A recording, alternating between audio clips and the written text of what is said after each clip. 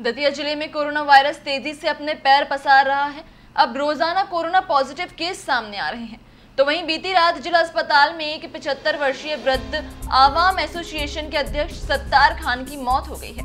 वृद्ध की मौत के बाद डॉक्टर उदयपुरिया ने जिला प्रशासन कलेक्टर, एसडीएम एवं नगर पालिका को इस मौत की सूचना दी, जिसके बाद नगर पालिका के कुछ कर्मचारी शव को सावधानी पूर्वक जिला अस्पताल से मृतक के घर लाए। जहाँ कुछ देर परिजनों को मृतक के अंतिम दर्शन कराने के बाद परिजनों में से केवल पाँच व्यक्तियों को कब्रिस्तान जाने की अनुमति स्वास्थ्य विभाग द्वारा दी गई। इसके बाद मृतक के परिजनों की उपस्थिति में नगर पालिका अमले ने शव को सुपुत्र खाक किया। तो बता दें, इससे पहले जिला में चार कोरोना मौतें हो चुकी थी। इसके अलावा लगभग 700 व्यक्ति कोरोना पॉजिटिव हो चुके हैं, जिसमें लगभग 150 एक्टिव केस हैं। देखिए, ये सत्तार खान की मृत्यु कल रात को लगभग साढ़े ग्यारह बजे के करीब हुई है। तो इनका कोरोना टेस्ट पॉजिटिव तीस तारीख को इनका सैंपल लिया था। ट्रूनेट से उसी दिन पॉजिटिव घोषित हुए थे। उसके बाद से इंटेंसिव केयर में भर्ती उम्र लगभग सत्तर वर्ष से अधिक है इनकी। दतिया के रहने वाले हैं वलगिया की खिड़की के।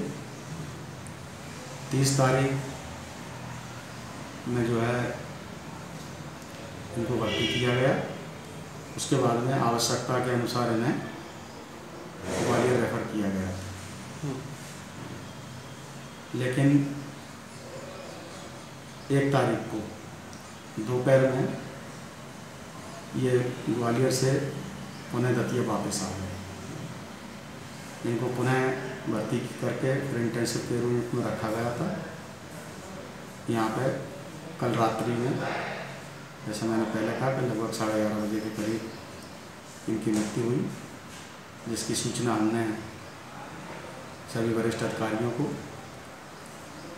कलेक्टर सर को, एसडीएम नगर पालिका के सी एम को दिए। पुलिस व्यवस्था के लिए भी आग्रह किया है एसडीएम साहब से।